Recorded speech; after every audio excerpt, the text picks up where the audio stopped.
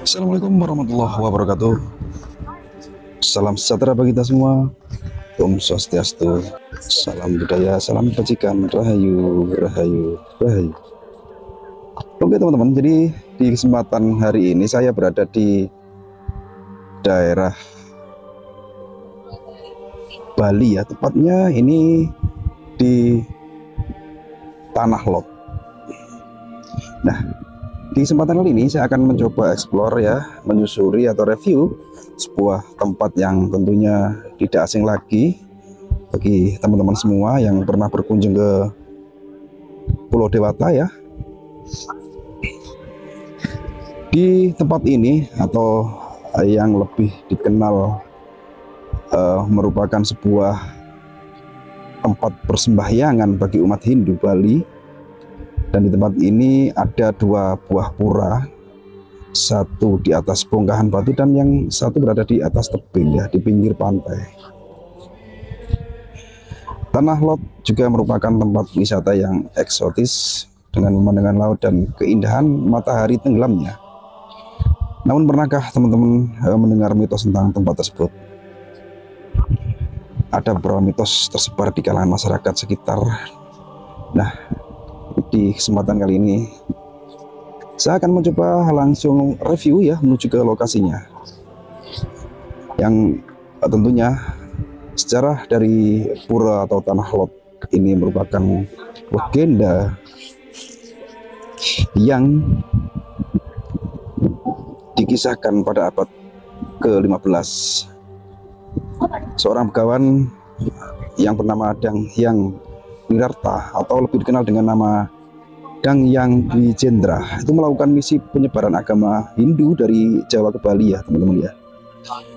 Dan yang berkuasa di Pulau Bali pada saat itu ialah Raja Dalem Watu Renggong. Beliau menyambut baik dengan kedatangan dari Dang Hyang Nirarta dalam menjalankan misinya penyebaran agama Hindu di Pulau Dewata ini yaitu di Pulau Bali.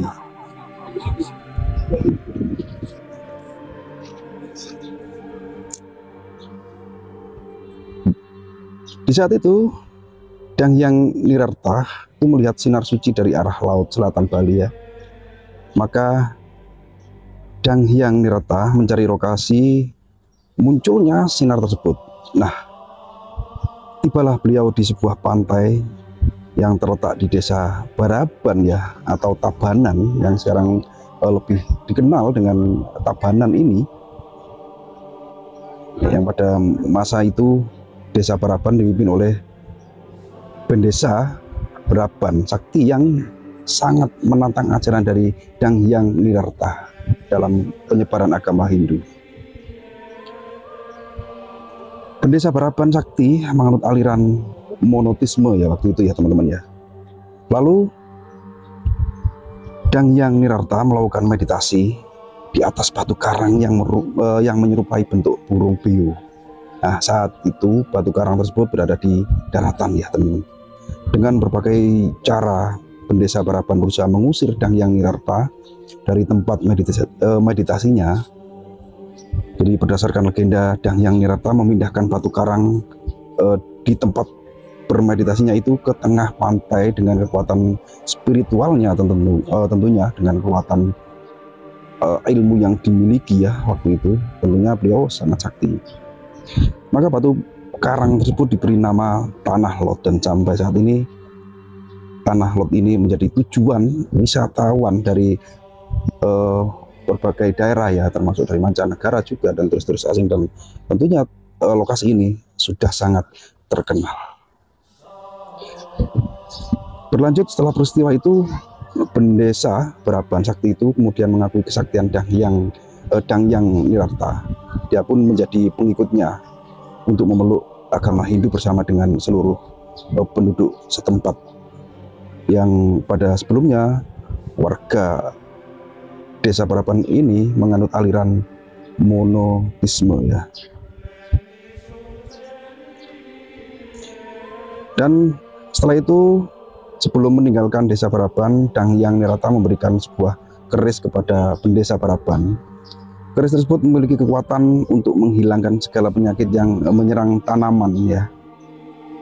Jadi keris, keris sakti yang bisa meng, mengusir hama dan pokoknya untuk uh, kemakmuran petani di wilayah desa Baraban ini teman. Dan keris tersebut disimpan di Puri Kediri dan dibuatkan upacara keagamaan di pura uh, tanah lot uh, setiap enam bulan sekali untuk mengenang atau uh, menguri-uri atau me, apa ya uh, untuk menghormati dari pemberian yang diberikan uh, dang yang nirata itu kepada uh,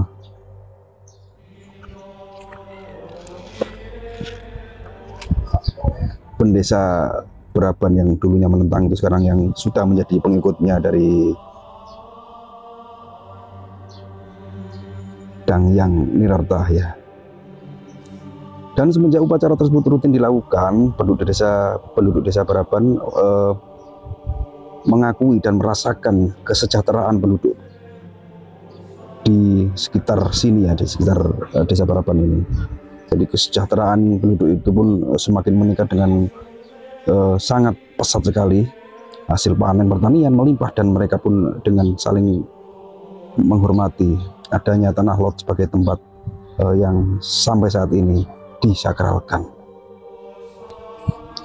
Di samping mitos yang eh, kita ceritakan tadi, ada juga ya eh, mitos. Jadi konon ceritanya eh, jika ada pasangan ya orang yang datang ke sini membawa pasangan ke tanah lot maka hubungan e, mereka itu akan cepat berakhir menurut e, mitos yang berkembang itu ya. Ini rasanya memang kurang tepat karena banyak pasangan yang datang ke tempat ini mengaku hubungan mereka baik-baik saja. Bahkan e, teman saya yang yang sering pergi melakukan e, persembahyangan di e, tempat ini itu bahkan sampai sekarang punya anak turun temurun. Tapi ini kan mitos mungkin uh, dulu ya uh, masih sakral sakralnya lokasi ini. Nah, sekarang menjadi objek wisata, makanya mungkin uh, nilai sakralnya pun agak pudar ataupun uh, hilang ya tentang mitos tersebut ya. Dan di lokasi itu juga uh, terdapat sosok ular ya teman-teman. Sebuah ular suci penjaga pura Tanah Lot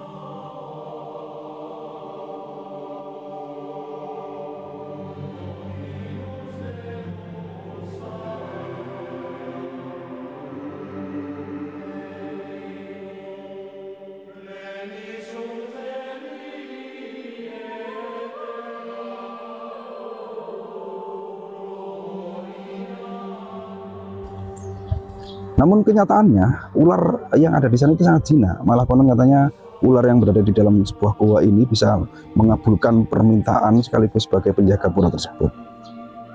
Tempat ular ini biasanya dia dijaga oleh pawangnya. Jadi ada pawangnya, teman kita dikenakan biaya. Seandainya kita ingin e, memegang atau berfoto gitu ya, e, kita membayar ke pawangnya tersebut. Dan ada juga air suci yang membuat awet muda. Mitos lain yang dipercaya masyarakat adalah air di tanah lot ini bisa membuat orang awet muda. Banyak pengunjung datang untuk membuktikan mitos ini sendiri. Tetapi belum ada penelitian tentang kebenaran air suci ini, teman-teman. Nah, itulah uh, sedikit uh, kemistisan atau cerita tentang adanya uh, pura ya yang ada di tengah laut ini di pantai yang tepatnya lebih dikenal dengan tanah lot.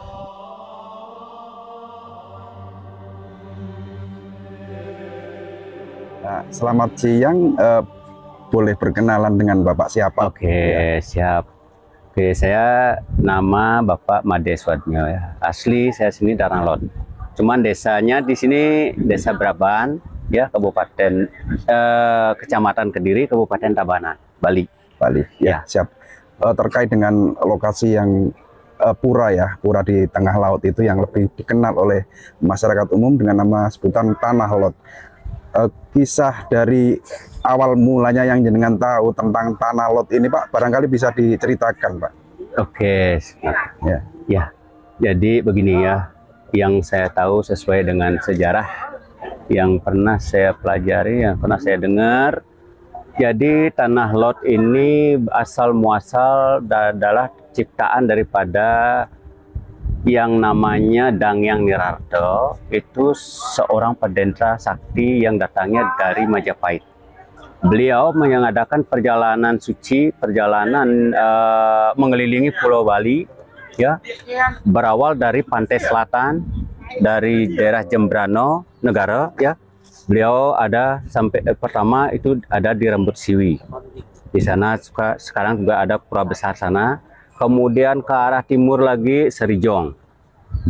Setelah itu sampailah beliau di sini di Pekendungan namanya, belum Tanah Lot, di Pekendungan beliau mengadakan tapas semedi di sana karena mungkin ada rasa getaran. Gimana ya? Ternyata dari sana beliau melihat sinar suci yang gede, di sini. Getarannya jauh lebih lebih besar dari sini. Beliau lompat dari sana kemudian menuju uh, karang di sini. Ini karang saya sebut dulu. Itu yang awalnya menyatu sekarang kan sudah terpisah beliau kemudian mengadakan tapas semedi di sini setelah beliau mengadakan dapat semedi di sini, di saat itu air lagi pasang gede, diketahui oleh masyarakat di sini sama kepala desa di sini beliau di, dicari. Maunya ditanya karena beliau tuh orang asing datang ke sini. Karena merasa terganggu daripada pertapaan beliau, semedinya beliau yang ingin menyelesaikan daripada tugas sucinya, kemudian beliau memutuskan mengambil tongkat saktinya memutus daripada uh, tebing itu menjadi terpisah.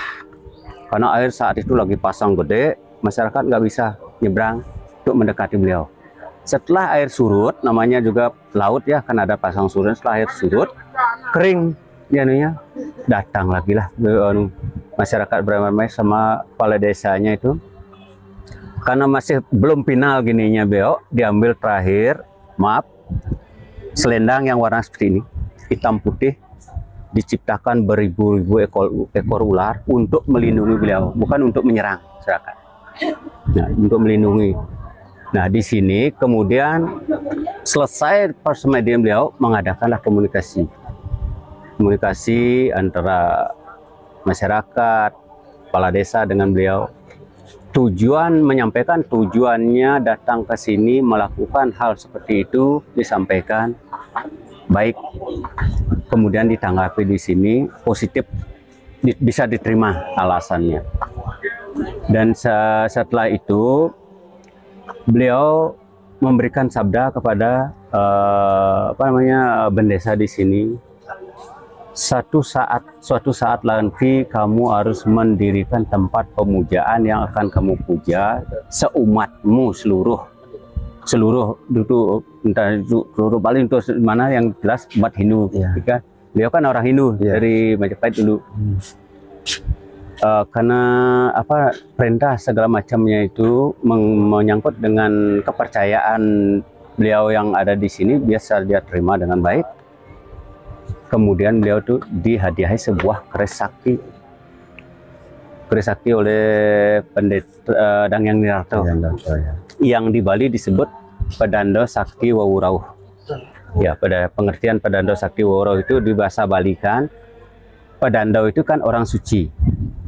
Wawurau itu orang baru datang. Jadi orang suci yang baru datang ke Bali. pendatang gitu ya. pendatang. Cuman tujuannya dia beliau siar ya mengajarkan agamanya dan memperdalamkan ya. apa artinya mewujudkan tempat-tempat pemujaan sebelumnya mungkin belum ada pemuja tempat-tempat pemujaan gitu ya, setelah itu uh, setelah itu kemudian singkat kata pada abad ke-11 berdiri didirikanlah pura ini 15 apa 14 Pak? Oh. Abad ke-11 didirikan oh, pura ya? ini. Ah. Ya, puranya abad ke-11. Ya. Kalau beliau sebelum itu mungkin sudah sudah datang. Hmm. Ya ini muncul nama daripada tanah lot itu jadi ada dua versi mas. Hmm.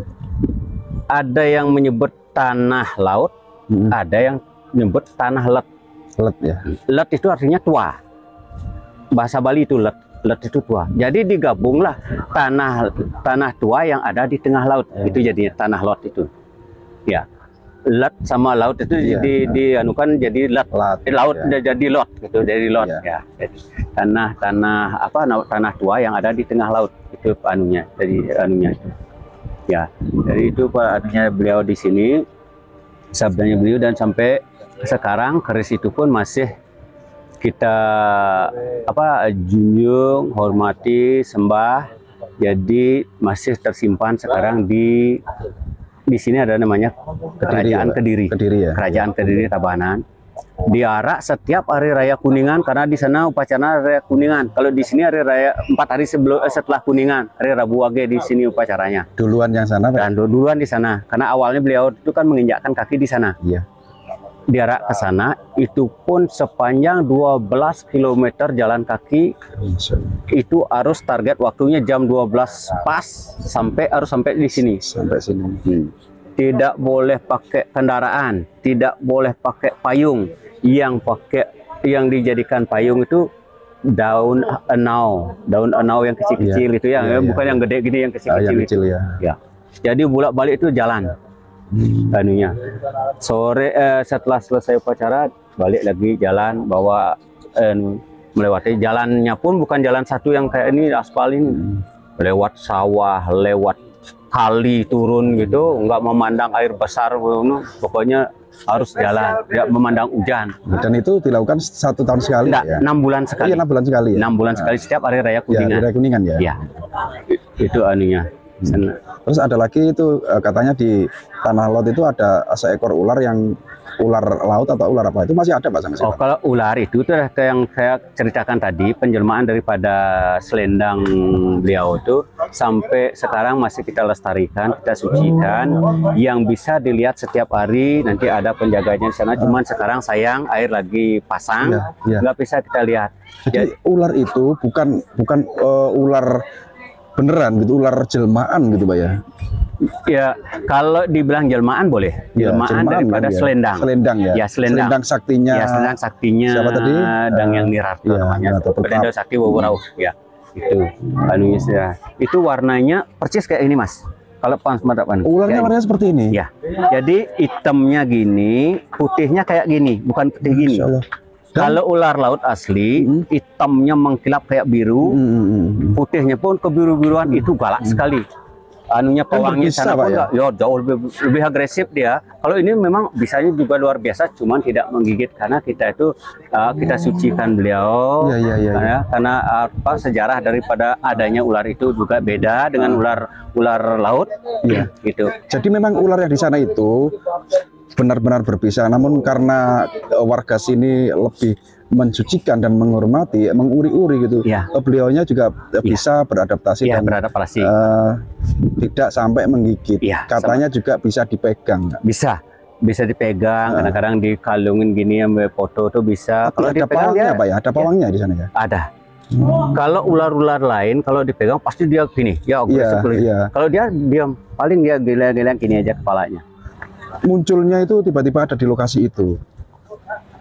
Gini, Iya. kalau ular ini kan begitu air pasang atau malam dia akan Hmm. keluar. Pas lagi air kalau mau surut dia akan kembali ke tempat-tempat anu, cuman tidak tidak tempat di yang dipajang itu, paling Iya. dia di gua-gua tuh, makanya diambillah dibawa ke sana lagi. Berarti tidak semua orang yang eh, datang sampai ke lokasi itu bisa melihat sosok ular tersebut, Pak ya? Bisa kok bisa. Cuman anunya larangannya kalau pas lagi berhalangan. Perempuan khususnya ya perempuan khususnya berhalangan itu tidak boleh. Ke air suci nggak boleh. Iya. ke ular suci juga nggak boleh. Jadi Oh iya, itu jadi- anunya pantangan. Jadi gitu. ada tiga eh, anggaplah ini suatu peninggalan yang luar biasa leluhur kita ya. ya Ada keris yang diyakini bisa menyuburkan ya eh, tanaman ya masyarakat sini. Terus ada bukan bukan kerisnya bukan airnya Oh, airnya. Airnya itu. yang juga untuk obat itu. ya Awet untuk muda ya. obat. Iya, makanya kan, ya. sekarang dijuluki air awet muda bukan air amarta, Pak. Bukan. Bukan. Air awet muda karena dalam artian gini. Pengertian awet muda dari sakit yang begitu berat parah banyak yang sembuh kan menambah usia kita ya. Semestinya kita udah mulai Iya, anu iya. nambah usia kita anunya. Itu sejarah air itu kan awalnya daripada air itu muncul hanya baru tahun 90 Mas. Airnya Air itu ini kan karena kita terkendala airnya pasang jadi tidak bisa review sampai lokasi. Ini cerita saja. Eh, air itu keluar dari sumur atau sumber atau apa, Pak? Atau netes gitu, Pak? Enggak, muncrat dari air. Dari dari apa? Dari batu. Air itu nyembur dari mana? Ya, dari batu. Maaf sebesar sebesar gini.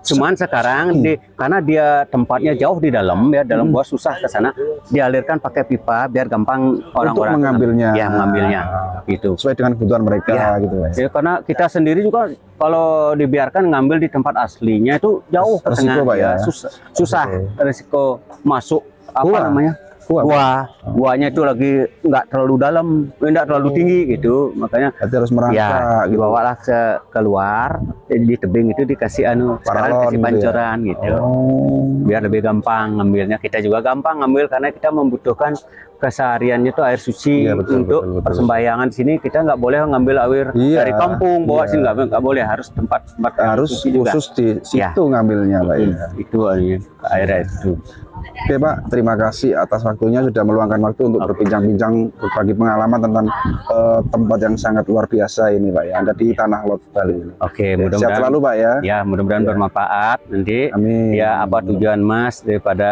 menjalankan ah, apa misi seperti Iya, ini iya, sukses Pak. selalu Amin ya amin amin. Ya ya. Terima kasih Pak ya. Sama-sama.